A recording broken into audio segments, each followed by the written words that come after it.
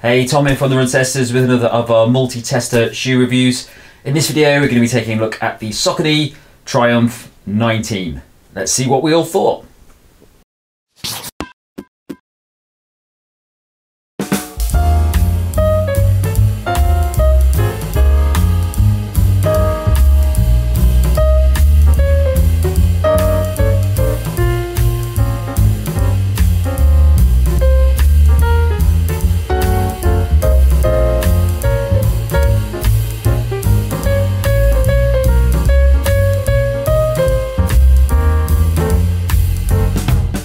Price is £145 or $150.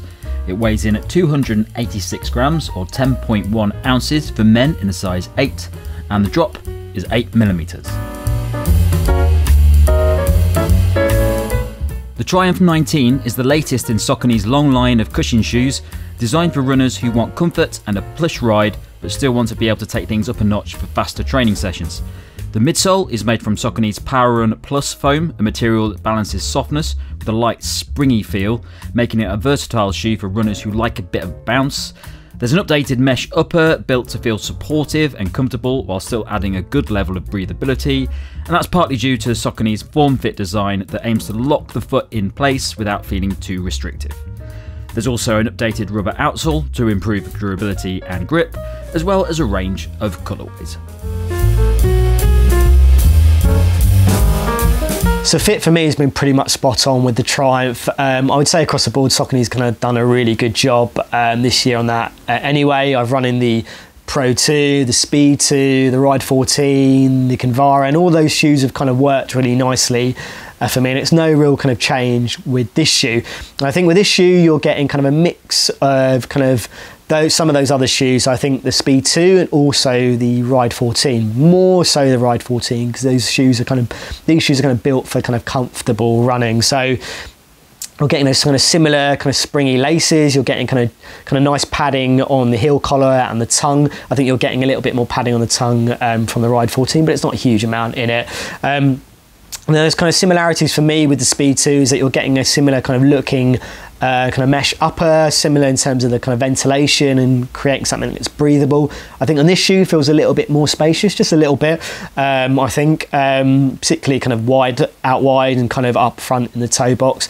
But generally, it's just been a really comfortable shoe uh, to run in. I've had no real issues, no kind of slippage. Um, I think it's a shoe that's uh, on an upper that's built to be a comfortable, kind of snug fitting um, shoe to wear, and that's kind of what I've got from it. So, yeah, for me, the Triumph uh, in terms of fit has been really solid uh, and no major issues for me.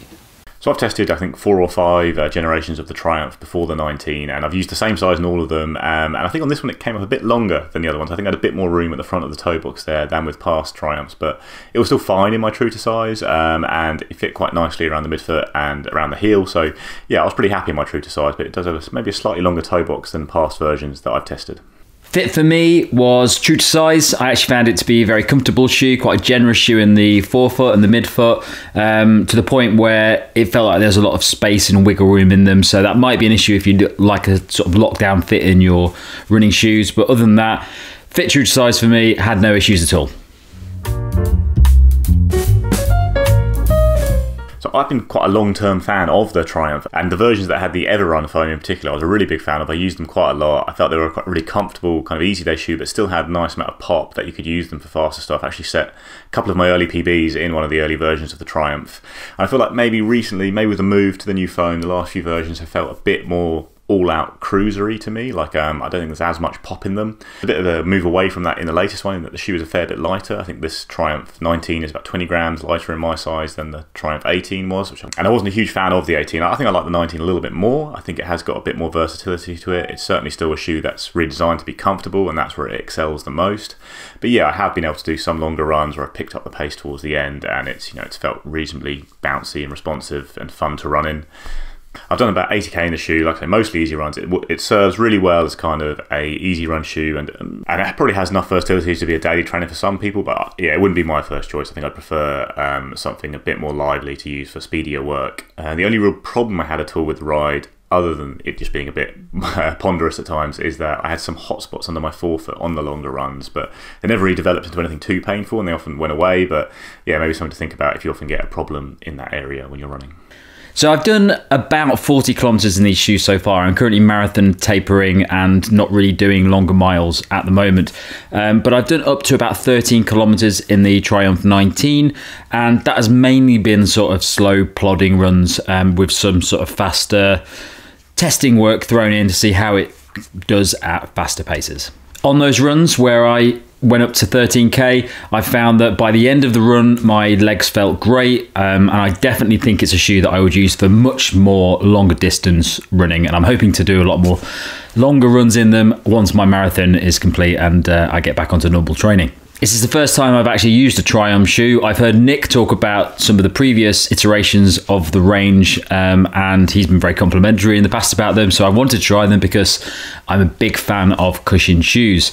And they have not disappointed when it comes to cushioning because I've really enjoyed running in these. They've got a really thick layer of PWRRUN uh, plus midsole foam, which manages to just feel really soft and comfortable and enjoyable on the legs, um, but also has a nice little bit of um, pop in the midsole as well. Uh, first couple of times I ran in them, I I was surprised by the sort of little bit of bounce that you get from them. Um, I just expected them to be sort of a very soft, cushy um, like, like daily trainer, but I I think they have a little bit more popping than you probably expect from a shoe with this much cushioning. I like the look of the shoe. It's just not something that I've been able to say about a lot of the um, more recent Saucony sort of checkered trainer shoes. You can see that checkered design on the inside of the shoe there. On shoes like the Shift 2 and the Speed 2, it's a lot more obvious and you can see it a lot more across the shoe. I know some of you like that design. I don't think many of the, uh, the run testers, if any, are keen on that design. It's a little bit garish for us, but um, I think with this shoe, it's just a much more subtle design that um, just takes that sort of idea and takes it into a, a, nicer, more enjoyable way of looking at a shoe. I have read people talking about how they don't like these laces. They're those sort of thick, squishy laces. Um, but I really like that sort of lace. I find that they're really easy to tie down tightly um, without having to double knot them. I never, whenever I've tied these down and given them a good pull, they don't seem to loosen up. I never have to redo them. So I actually quite like those laces. I think they're a nice addition to the shoe. Also, there's a lot of rubber on the outsole, a fairly thick helping. Um, I mean, I've only done 40Ks, so the durability is almost unnoticeable at the moment. They look pretty much new as it is. But that level of rubber does seem to be pretty thick and durable, so I'm expecting them to be a relatively durable shoe. So the run test, and what I would say is this shoe landed with me at just the right time. Uh, it was a couple of weeks before Berlin, so kind of tapering, and those runs are really about keeping the legs ticking over. And then post Berlin, um, looking to kind of gradually get running back into my legs. Um, so looking for a shoe that was just going to kind of go out and kind of run easy with no pressure. And that's exactly where this shoe kind of really excelled for me. And actually overall every run I did in this shoe I actually you know I really enjoyed running in it. Now it definitely feels best suited to those kind of easy paces. Um, I do think there's capacity to go a little bit quicker in these, but um, I don't think that's where they're best built for. I think you know this upper is built to you know kind of be comfortable uh, in the you know kind of supportive in the right places. The cushioning is soft, plush, not overly soft. I don't think. Um, you get a little bit of snap in there when you go a little bit quicker. I had a couple of runs where uh, one of my club runs, I had the opportunity to go a little bit quicker and actually it felt fine. But I look at something like the Ride 14, which is obviously in Saucony's collection as well, and I think that's a little bit snappier to run in based on my experience. But overall, I've really enjoyed running this shoe. I definitely think that kind of those slower, kind of comfortable, easier paces where it's best suited. Um, I think you can run kind of shorter and longer distance in it in it without kind of really major issue. I think you're going to get good durability from it as well. Um, so yeah, overall, really enjoyed running in the new Triumph. Um, no major issues for me um, in terms of that running performance, and one overall I've really liked um, having time testing. Overall, I'd say that they are a really good shoe for people who want a lot of cushioning. If you don't like cushioning, you're probably not going to be a fan of this shoe. But as well as being good for those sort of daily training miles, I think they're a really nice option if you're somebody like me who probably I don't just want shoes for daily training miles. I want my shoes to pick up the allow me to pick up the pace a bit. Uh, and when I went out and running in these, I planned to do slow miles, but I ran a bit faster because I fancied it. And these were really good for that. And I actually think that they're surprisingly sort of fast and bouncy for a shoe that is essentially a big cushion shoe. Um, so I'm really impressed with them from that perspective. And um, yeah, I think they're a really good shoe for if you like cushioning, but you want a bit of versatility and you want to do a bit of speed in it as well. They're definitely a lot softer than something like New Balance's Fresh Foam 1080 V11, which has a similar level of cushioning, but that cushioning is a bit harder, a little bit more responsive. On the flip side, this Powerrun Plus midsole foam is feels a bit bouncier. So for some people, it might feel a little bit too soft, and you're going a little bit too hard into that ground, and it's kind of sinking in. Um, but I do feel like there's a lot of pop that comes back um, off of that sort of uh, soft impact that you hit on the road. Whereas with the Fresh Foam 1080 V11, it's a lot harder and a bit more responsive. So it's more suited to those people that like a shoe that doesn't have that sort of squish every time you're running in it. I'd probably liken it to the Brooks Glycerin 19 in terms of how it performs and the cushioning. Similar level of cushioning to it. Again, I think the softness is the same, but I think there's a little bit more bounce in this than you get in the Glycerin 19, which probably for me makes this more conducive to sort of being able to run at faster paces. But I think I still prefer the Brooks Glycerin 19 just because it's I, I that shoe is fantastically comfortable um, and just ticks a lot of boxes for me for those sort of daily runs um, where I want to just get loads of miles in. Also, I think that if you are a runner who maybe is signed up to half marathon or a marathon and your focus is comfort, you just want a shoe that's gonna make your feet, feet and legs feel great for the distance. Um, you're not that bothered about getting an amazing PB. You just want to cross that finish line and go. My legs feel good. I really enjoyed running these shoes.